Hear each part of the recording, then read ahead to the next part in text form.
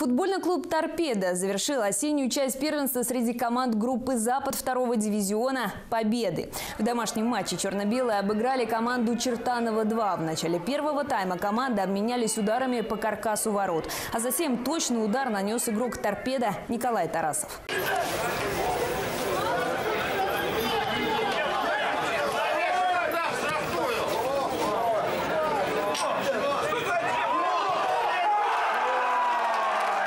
Хозяева попытались увеличить отрыв, но в первом тайме это не удалось. Во второй половине матча торпедовцы забили дважды. На 47-й минуте Максим Нестеров забил мяч, а через три минуты он еще раз поразил ворота соперника. Футболисты из Чертанова-2 смогли лишь раз пробить оборону черно-белых. Результат встречи 3-1. На зимний перерыв торпедовцы ушли, обосновавшись на пятом месте в турнирной таблице.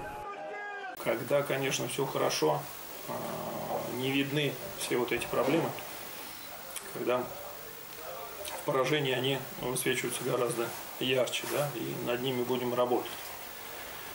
Если по этой игре, да, я тоже ребятам благодарен, настраивались они, да, я сказал, что э, этой игрой мы можем исправить как турнирную э, ситуацию, так и моральное, э, психологическое состояние, да, и с хорошим настроением уйти в отпуск.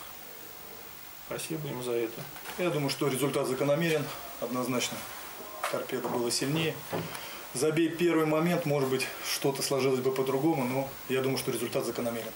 Очень неубедительно мы сыграли начало второго тайма провалились просто. Добавим, что вторая наша команда, футбольный клуб «Муром», в эти выходные 10 ноября в гостях проиграл столичному «Велесу» со счетом 1-0. Сейчас муромляне расположились на седьмом месте турнирной таблицы.